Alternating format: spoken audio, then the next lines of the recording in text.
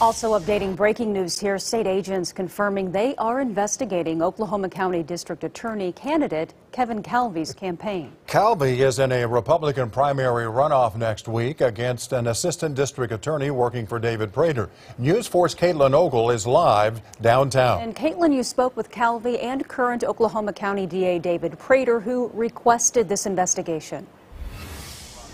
That's right. And I'll tell you, the atmosphere in that crammed hallway, there was so much tension. It was very confrontational.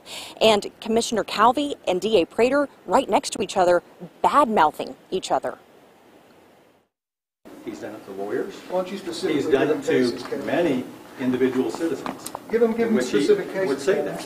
Tensions high after Commissioner Kevin Calvey says he was tipped off by the media Wednesday about an OSBI investigation of alleged campaign finance mismanagement. Somebody trying to say, oh, you're being investigated for something that's piddly like that because the DA is abusing his power to try to get his own employee elected. No, I'm not a bully.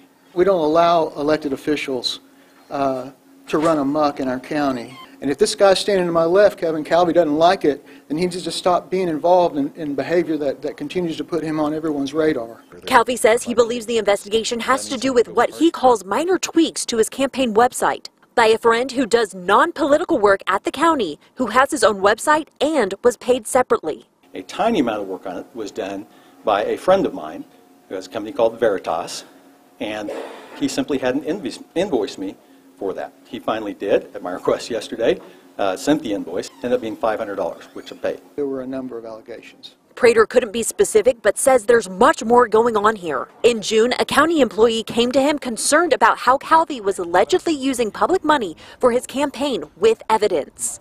We had the employees from the state auditor's office come to our office and make allegations about potential use of public money uh, being used for campaigns by Commissioner Calvey. Calvey believes Prater leaked the information to the media. We're going to win this election Tuesday, despite the bullying efforts that Mr. Prater is doing.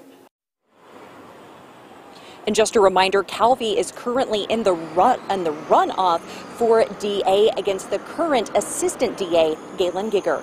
We're live at the, cap- at the courthouse. Caitlin Ogle, Oklahoma's News 4.